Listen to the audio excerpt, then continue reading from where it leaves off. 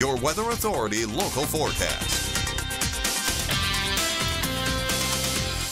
Welcome back to Sunrise. 615 is your time on this Thursday morning as we're inching closer to that weekend. We're going to take a look outside using our RV World Yuma Skycam, see what to expect today as we did have some heavy uh, weather alerts yesterday with those fires that broke out as well as windy conditions that can always make a dangerous mix. But light winds out there currently going to be similar to how it was yesterday. Sunny skies, but moderate today in our air quality index in Brawley as well as Westmorland. It is looking good everywhere else.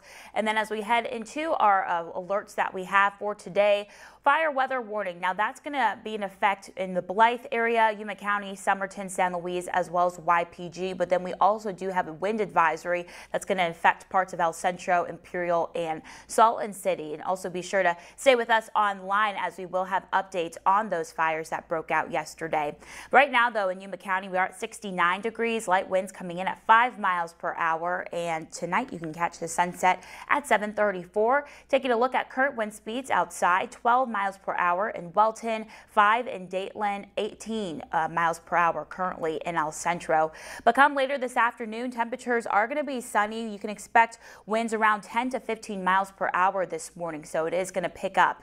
98 degrees in San Luis, Mexicali at 96, and then 97 in the YPG area. But those gusts could get up as high to 20 later on this afternoon, so just something to be cautious of, especially if you are on the freeways. Lows for tonight, though, uh, dipping into the 50s in some areas. 55 degrees in Blythe. That's the coolest that we've seen all week. 57 in Imperial. Somerton coming in at 63. Yuma tonight will be at 62. And then heading into our eight-day forecast, we'll have a little bit of a cool off um, starting tomorrow back in the 80s for Friday and Saturday of your weekend. Going to warm back up, though, into the 90s on Sunday, taking us into the new week on Monday. Monday.